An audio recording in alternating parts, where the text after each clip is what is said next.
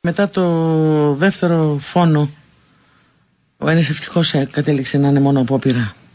Ε, ταξιτζή, οι εκπομπές μου θα είναι αφιερωμένες στους ταξιτζίδε. Στους οδηγούς ταξί. Οι οποίοι είναι απευθείας και με το της προσωπικής διαφοράς παράλογο. Δηλαδή με την παράνοια. Να μπαίνει κάποιος νεαρός μέσα, ντυμένος με φόρμα, μπαμ μπαμ μπαμ και να αφήνει τον άνθρωπο.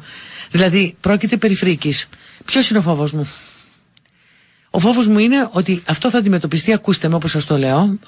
Πόσο Μητσοτάκης βρίσκει σήμερα ότι όλο το πρόβλημα της χώρας είναι οι απεργίες; Αυτό φοβάμαι.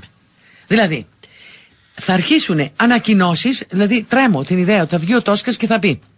Τώρα που αλλάζω την άμεση δράση, λέω τώρα ένα παράδειγμα, θα φτιάξω ειδικό τμήμα ανάλυσης προσωπικότητων, πώς είναι τα κάτι ταινίες που βλέπουμε στην τηλεόραση, κάτι ζήριαλ, όπου θα κάνει ψυχολογική ανάλυση του προφίλ του δράστη. Εδώ δεν έχουν πιάσει κάτι κολόπεδα που κυκλοφορούν αριστερά και δεξιά και μπαίνουν μέσα και τα κάνουν μπάχαλο.